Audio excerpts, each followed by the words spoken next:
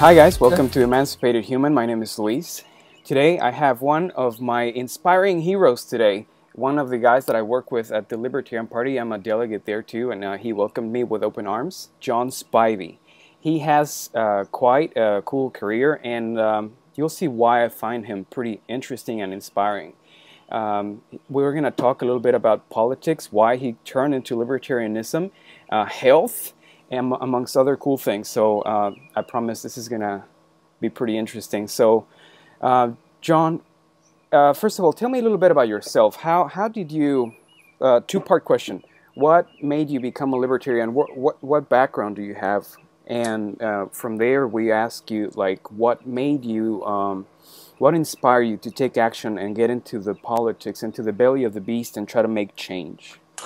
Well, um, and first of all, hey, thank you very much for having me on. It's one of these things that, um, you know, I I don't know why. I guess I'm I'm happy that you find me an inspiring person, but I'm just, you know, I always just think of myself. I'm just a kind of a regular guy, and you talk about, you know, what is my background? Um, I didn't particularly have a you know a poli sci degree or anything like that. I took you know I took history and and uh, uh, you know social studies type courses throughout high school and, and college, but um, you know I didn't really see that as a career for myself. But um, even I, I, guess it all started as as a as a child. Um, I would see um, documentaries on TV and old footage of World War II, and I would see a lot of um, I guess uh, you know the aftermath of what I could recognize then as too much government. Whenever um, you know I'd see these horrifying images of you know bodies being pushed into a mass grave you know outside of uh, Auschwitz or something you know and it just as a child that resonated with me. And I remember I grew up in the in the middle of, of the Cold War. And um, um, while there was a lot of rah rah nationalism going on at the time the one thing that sounded completely unfair to me was you know we are fighting this this monster called communism out there.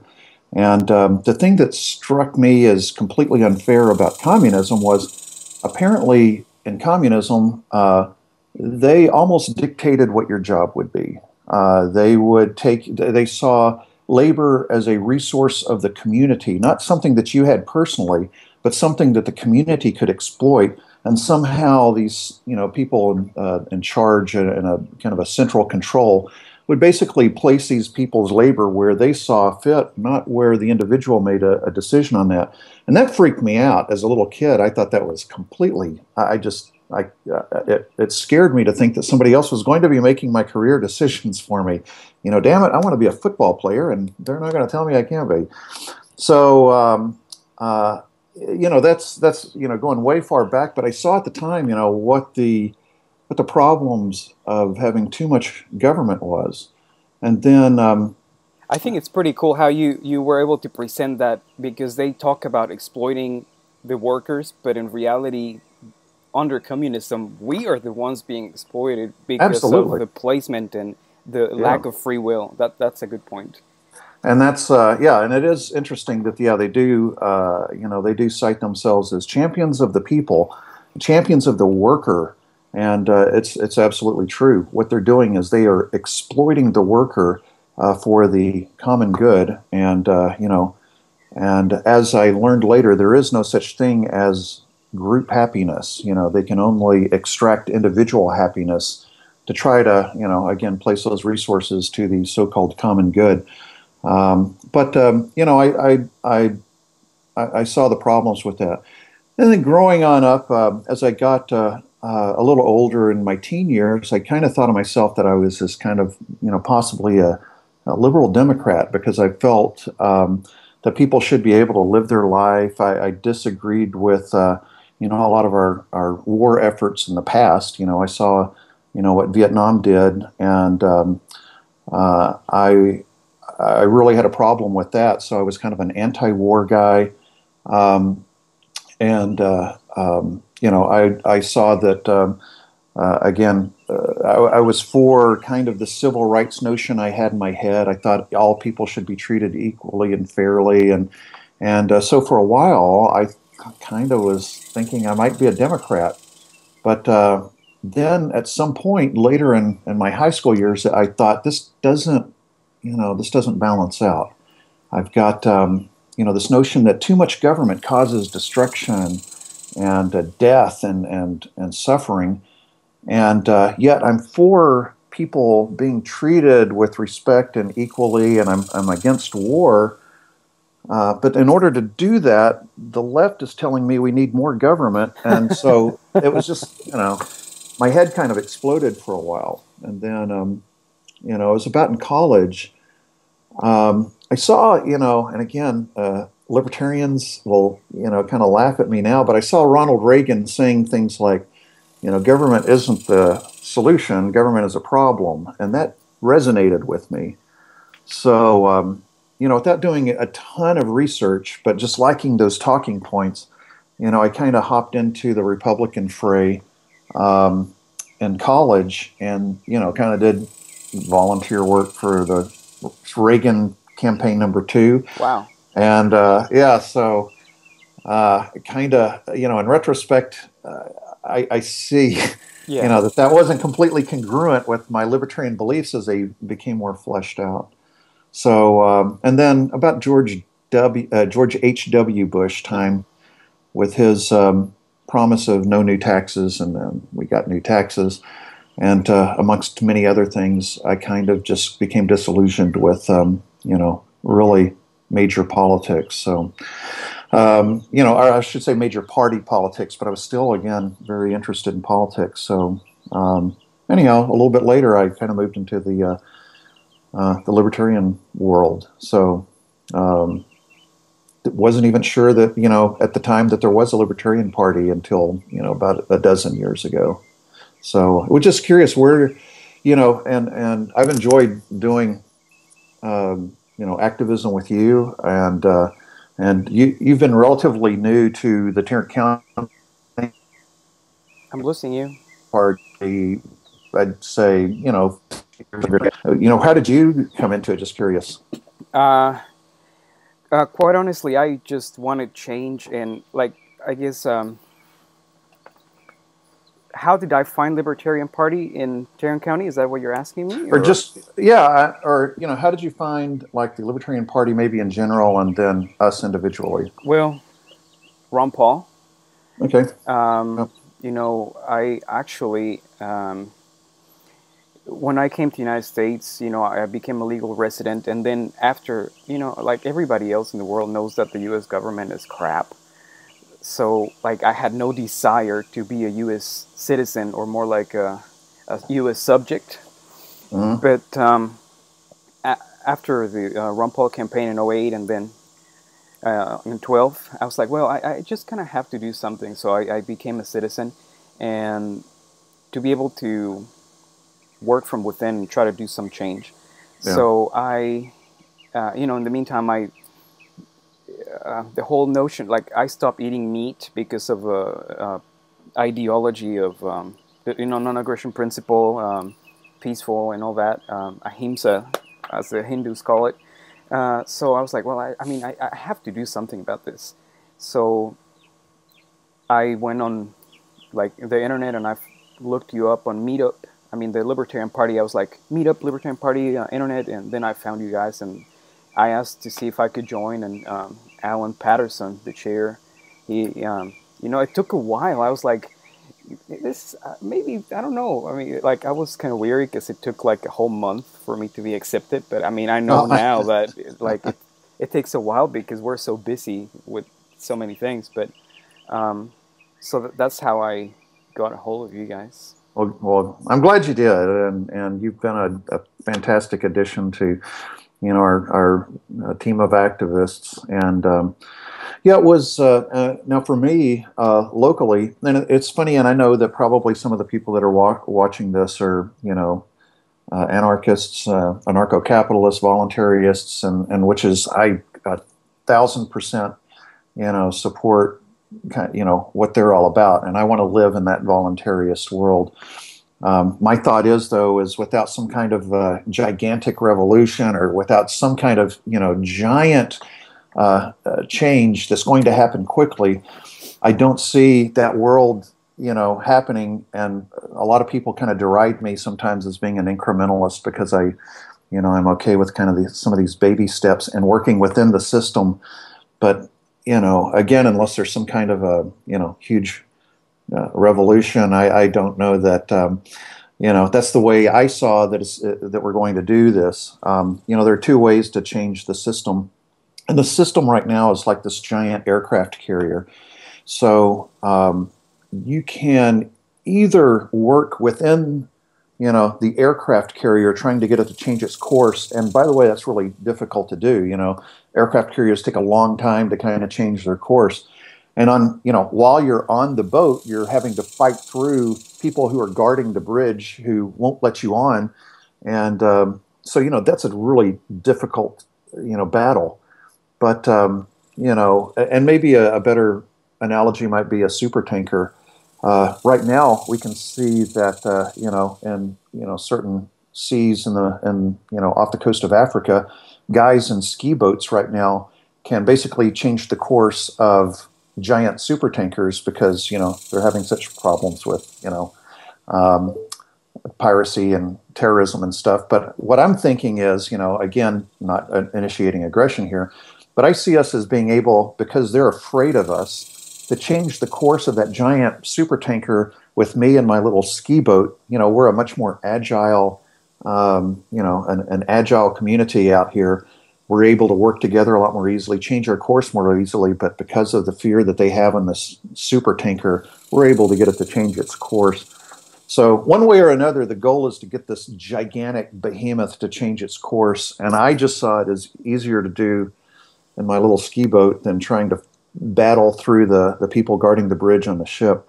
So, you know, that's my analogy on, on that. Um, I love your analogy, and uh, I am an anarchist, as you know, and I agree with everything that you say, and I think that life is not linear, it's systems thinking.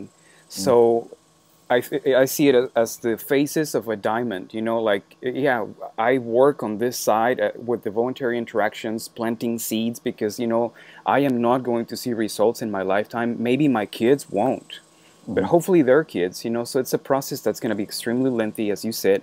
But at the same time, I think that it will be um, lack of foresight or wishful thinking not to want to get into the belly of the beast and do something about it. And that's why I'm you know, I wanted to join your team oh. uh, to be able to make change in several places at once instead of putting all our eggs in one basket. So yeah, I'm doing you know the activism. I'm doing um, like teaching about uh, liberty, and we're also doing this stuff with the Libertarian Party, amongst other things. You know, like commerce in, on on its own, like uh-huh. just our daily interactions with other people, uh, planting seeds with them. That's pretty powerful too. So I, I think um, what you do, what we do, is really important uh, with the little jet ski uh, analogy, and I mean I I just totally agree with it. So. Well, it was, and by the way, we've made, I think, we've made tremendous strides in just the past decade or so. And again, it was about, um, oh gosh, I, I can't remember exactly, 2002 that's whenever I started hearing about the fact that there was a Libertarian Party. And then in 2004, I went to my first, you know, county convention. And for those of you who don't know how we do things, at least in Texas, um, you know, we have either, um, uh, and actually at this point, I believe we may have an option of if we want to be a primary party or a convention party, or we kind of do things like the Iowa caucuses, for example. And uh, instead of having these big, expensive, taxpayer funded primaries, uh, what we do is we have these series of uh, conventions, and we start off small with a precinct uh, convention, and a county convention, and a district convention, and then a state convention. And uh, in 2004, I went to my first county convention, and um, I was excited at first to go to it. And I didn't know where we were going, and then I realized I was going. You know, when I, I got the address, I thought this kind of sounds like a like a residential address, but anyhow, I went to it, and sure enough, it was like in this guy's you know little house, and you know, thankfully, you know, uh, our, our our chair, state chair Pat Dixon had. Um, you know, hurriedly, uh, you know, blessed this guy as the uh, interim county chair just so we could have a convention. Uh, just realized that the, the election prior to this, we were off the ballot. Uh, we didn't have a single candidate. Uh, we were legally barred from being on the ballot because our vote totals didn't, you know, didn't permit us to be on. We literally had to go through, and this was right before my time. We had to get 45,000 signatures and uh, present that uh, to the um, Secretary of State to get back on the ballot. You know, through those Herculean efforts, we got back on the ballot. And uh, I went to my first convention, and again, it, it, was in this guy's house, and there were four of us in this convention. And I was like, hey, you know, Tarrant County has, you know, almost 800,000 registered voters. Um, I think we can do better than four people in a convention again, I know this is kind of you know version 2.0. We just kind of restarted, but I was I was you know excited about the prospects, but disappointed with the you know with what was happening. And I thought in the next you know if, nothing happens between now and the next county convention, and there, nothing gets built, um, I'm going to ask to be nominated for chair and then we're going to like have a real life party. We're going to have a, I mean, a real life political party and maybe actual party too. So the next election uh, cycle came, and um, there were about six or seven people at that convention, which again sucked. So I was like, I'd like to, you know, please nominate me, and um, I got nominated as chair, and um, so we started doing things like using you know social media.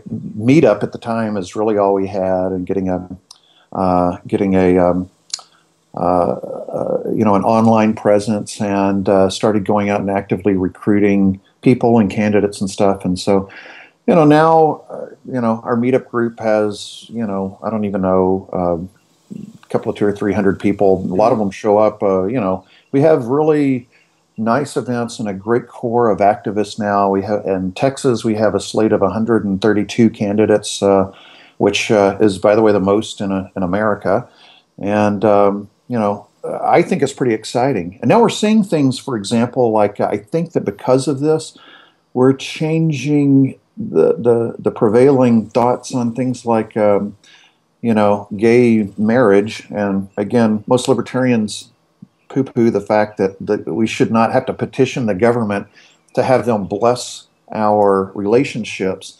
But, um, you know, again, I see it as kind of an incremental step um, of uh, making sure that everybody at least has, um, you know, so called equal protection under the law. Um, uh, and just really equality for all people in their relationships like that. And also, um, another kind of a big issue that I like to fight for is, um, uh, you know, legalization of, of, marijuana, for example. We've been throwing people in, in, cages forever for basically owning something, owning a substance. Um, just by owning that, it doesn't harm anybody else. And uh, yet, uh, here we are. Um, I would say, you know, eight years ago, it would have been unheard of to to think that we could be legalizing marijuana. And now in Texas, polls are showing that public perception has shifted, and because of that, politicians they take they take notice of that. So um, I think that here before too long we're going to see, you know, legalization of uh, of marijuana. I'm, I'm excited about that that prospect. Prohibition so, doesn't work. Never. Yeah. I mean, it's never. not like people are not buying it as is. No. Um, that's funny. I just I I just started watching um, I'm starting to binge watch uh, uh, the um, Boardwalk Empire, and it's about the early days of you know the prohibition of alcohol, and it's exactly what we're seeing with you know what's happened with the you know prohibition of, of any and all drugs. It's, it basically leads to this you know organized criminal empires and exploitation of people. Uh, the government tramples on everybody's rights, and uh, you know, so hey, we, we saw this happen once before. We know it doesn't work, and man, we have been beating this dead horse for a long time. So people are people are catching on to that, and it's because of I think uh, of what we're doing. So I I'd like to think that. So, yeah, uh, I totally agree, and I think like one of the main things why I wanted your voice here is because the hard work starting with one person has done a chain reaction that has inspired many and brought many on board to your vision. And uh, I like the practical examples, and this is a really powerful one. So I really appreciate you sharing that with us.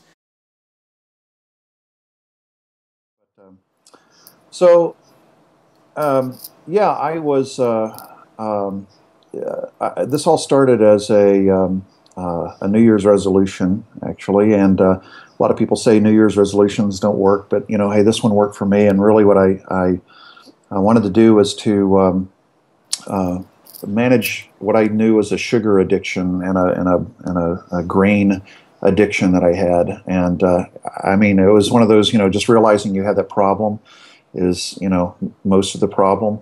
So uh, what I decided to do is to to start this Paleolithic nutrition eating regimen where you know, I'm, I'm trying to eat more clean. Um, I do still eat meat, but nothing fried, uh, no sandwiches. Uh, I eat like a, uh, a, a, caveman would.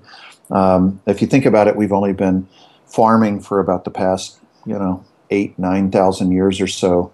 But we've spent, you know, tens of thousands of years before that as hunters and gatherers. So uh, ultimately, if you look at what our bodies have been supposed to, you know, what we're evolving into you know we've only had a short period of time where we've been eating grains.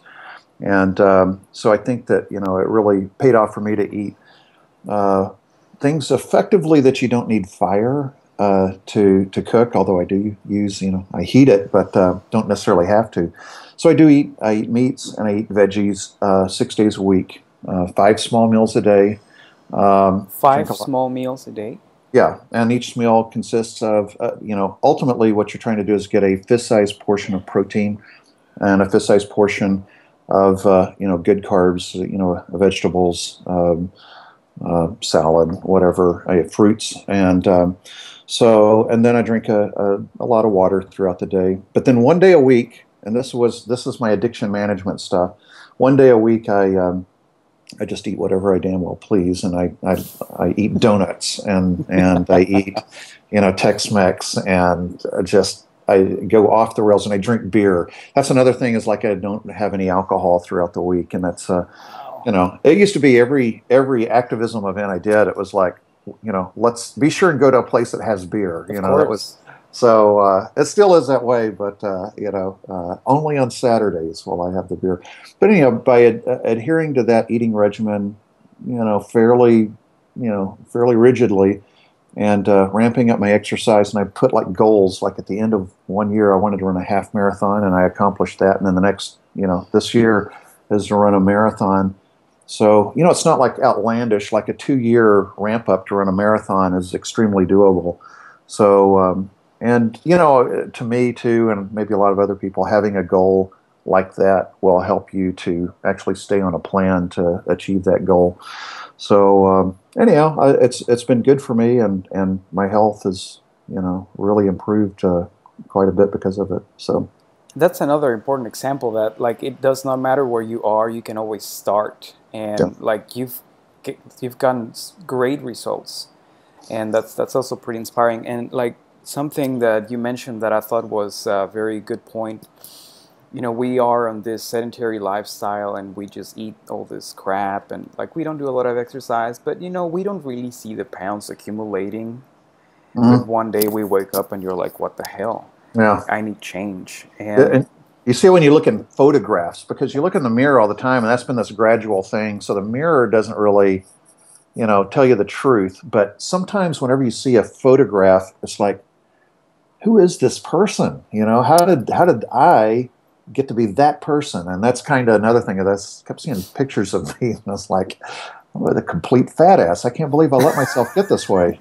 so, uh, yeah, that's important. Um, thank you. I, um, you know, something similar happened to me. So I'm I see you as an inspiration. I started, you know, biking and just going on walks during my lunch Good. break. Awesome. Um, I was like, well, you know, that guy's doing it and he's getting good results. So, uh, you know, it's hard, it's whatever, but I go out and like I come all sweaty and just change. Sure. So, you know, we have a shower at work. So if I'm really nasty, I just rinse off real quick. But uh, yeah. I think it's, um, a good idea to just also, you know, because of the whole libertarian thing is changing from within. Mm. Like, how can I be a better person? And like that also includes diet, includes health. Um, uh, Ram Dass was saying that the best gift you can give to anybody is yourself. Mm. Uh, so how can we do that? You know, um, yeah, I mean, libertarianism and anarchy is uh, individualistic ideology, but that does not mean that we don't give. That it's completely the opposite. Like the best, the most successful people are those who serve the most. Mm-hmm. So how can we be in better shape? How can we be in uh, good terms with ourselves, our image, how we like to be, how we like to feel, to be able to accomplish more stuff outside as well. Mm-hmm. So I think you've done that really amazingly, and that's why I wanted to also uh, put this out there.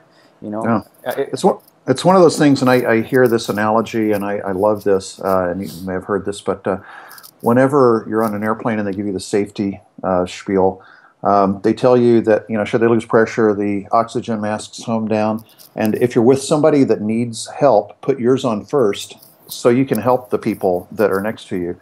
And that's one thing is like I feel that you know if I'm in terrible health, I won't be able to, you know, I'll have a shorter time on on this earth to help other people, and um, so and quality of life.